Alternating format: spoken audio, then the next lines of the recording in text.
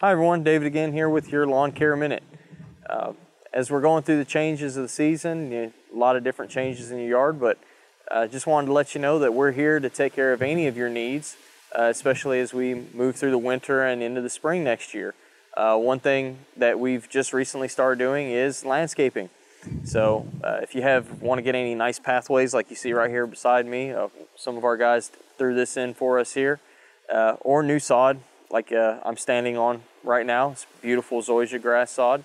These are things that we can actually help you with. I know a lot of people know us as a mowing company and as a fertilization and weed control company, and we're really proud of our efforts in that. But we're excited to really bring you uh, landscaping solutions for the other areas that uh, maybe just the fertilization and weed control can't cover.